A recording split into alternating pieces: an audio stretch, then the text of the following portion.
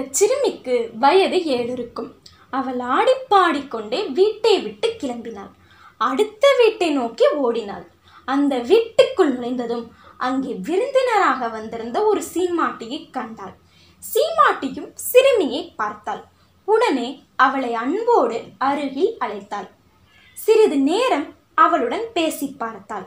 அவளுக்கு அச்சிறுமியை மிகவும் பிடித்து விட்டது உடனே அச்சிறுமியிடம் நீ என் வீட்டுக்கு வருகிறாயா? என் வீட்டிலேயே நீ இருக்கலாம். அங்கே உன்னைப் போலவே ஒரு பெண் இருக்கிறாள்.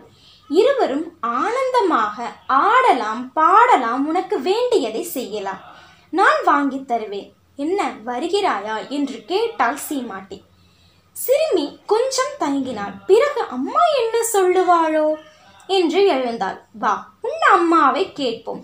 அம்மா ஒத்துக்கொண்டால் நீ கட்டாயம் என் வீட்டுக்கு வந்துவிட வேண்டும். சரிதானே? என்று கேட்டுக்கொண்டே அந்த சிறுமியை அவளுடைய வீட்டுக்கு அழைத்துச் சென்றாள் சீமாட்டி. சிறுமியின் அம்மாவிடம் அம்மா நான் என் சொந்தக்கார பெண் ஒருத்தியை சுவிகாரம் எடுத்து வளர்த்து வருகிறேன். அவளுடன் சேர்ந்து படிக்கவும் விளையாடவும் உங்கள் பெண் இருந்தால் நன்றாக இருக்கும்.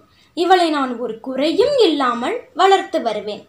இவளை என்னுடன் அனுப்பி வைப்பீர்களா? என்று கேட்டாள் சீமாட்டி. அம்மா முதலில் தயங்கினாள். சிறிது நேரம் யோசனை செய்தாள். பிறகு நாமோ ஏழை நம் வீட்டில் இருந்தால் சாப்பாட்டுக்கு கூட இவள் கஷ்டப்பட வேண்டும். சீமாட்டி வீட்டுக்கு சென்றாவது சீராக வாழலாம் என்று நினைத்து சரி உங்கள் விருப்பம் போலேயே செய்யுங்கள் என்றாள். சீமாட்டி அந்த சிறுமியை வீட்டுக்கு அழைத்துச் சென்றாள். தன்னுடைய சுவிகார புதல்விக்கு அவளை தோழியாக்கினாள். இருவருக்கும் சீமாட்டியை நல்ல முறையில் படிப்பு சொல்லிக் கொடுத்தாள். அயல் நாடுகளுக்கு அவர்களை அழைத்துச் சென்றாள். இவற்றால் அந்த சிறுமியின் அறிவும் அனுபவமும் வளர்ந்தனர் பிறருக்கு தொண்டு செய்ய வேண்டும் என்று நல்ல நோக்கமும் தோன்றியது. அவள் பிறந்ததும் வளர்ந்ததும் அதிகமான ஆண்டுகள் வாழ்ந்ததும் ஐரோப்பாவில்தான். ஆனாலும் அவள் அதிகமாக தொண்டு செய்தது நம் இந்தியாவில்தான். ஆம் அவள் நமது தேச விடுதலைக்காக பாடுபட்டாள். சிறைக்கும் சென்றாள். அகில இந்திய காங்கிரஸில் தலைவியாகவும் விளங்கினாள். சென்னை அடையாற்றில் இருக்கிறதே பிரம்ம ஞான சபை.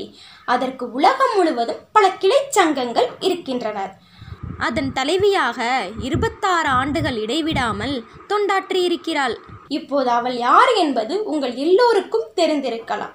அவள்தான் அன்னை வசந்தை என்று நாம் எல்லோரும் அருமையாக அழைக்கும் டாக்டர் அன்னி பெசன்ட்.